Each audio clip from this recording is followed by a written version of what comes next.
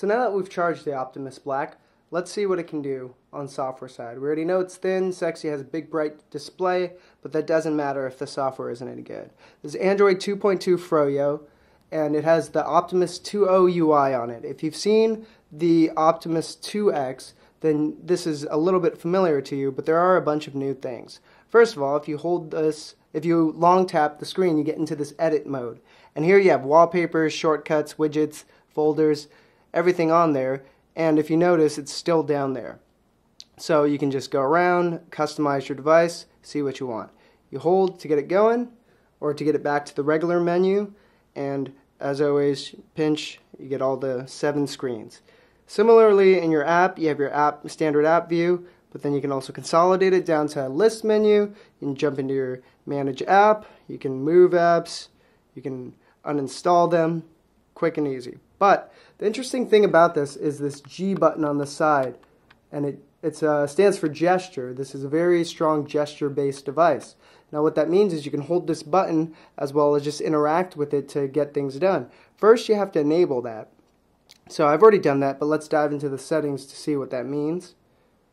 There you go. You have your motion gestures, and this lets you move cursors, uh, switch pan through galleries, turn off alarms, answer calls, and basically it's all aimed at helping you operate this device better with one hand. So instead of looking at it, let's show you. So if you hold this, you can tilt. If you tilt the phone, you notice it's moving. You, I'm holding the device, or I'm holding the app. So if you want to go to a separate home screen, it's a little bit easier than having to, you know, drag or go back to the app menu, drag it to the, the menu you want, or go like that. Neat, neat. You can also, I'm holding the gesture button and it and it rotates the home screens. Okay, that's cool. You see a lot of that in throughout this UI. So here's IntoMobile and the Optimus Black is top story, good stuff. If you hold down the gesture bar, notice it's scrolling there. That's kind of neat. Scrolls up. It's cool. Some of the best things about this though are let's say let's say you're walking around and you see something that you want to take a picture of. Normally you have to unlock, launch your camera app, do that. But with this, but with the gesture motions, you can hold the G button, shake it twice, boom, it'll launch right into the camera app. So you can capture that moment. And then let's say you take the shot, or you take a couple shots and and then you want to double check and see how good they are or how bad they are. So let's dive through the gallery.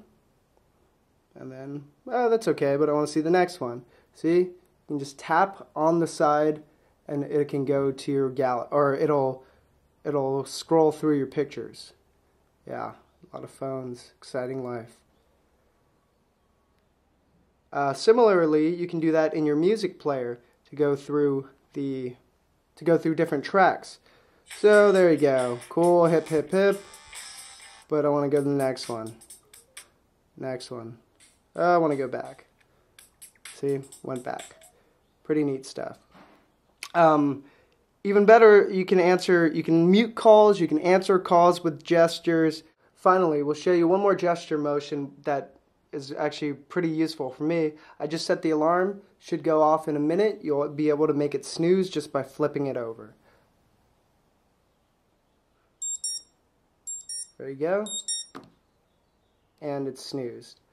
So, quick little look at the gestures in Android 2.2 on the Optimus Black. Stay tuned, we'll have a full review. Thanks.